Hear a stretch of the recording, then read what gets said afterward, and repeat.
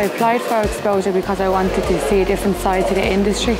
People who walked with me every day inspired me and gave me the push to do it. My favourite part of the XPOSURE journey was the mentoring day. Peter Mellon was our mentor and he coached us through doing braids and haircuts. It really inspired me to bring it back to the salon. Walking backstage with Robert and his team was absolutely amazing. I was helping him prep his models backstage. He took me to, through the collection, the makeup and all his clothes and he made me, made me feel involved in his day. He's really blown me away.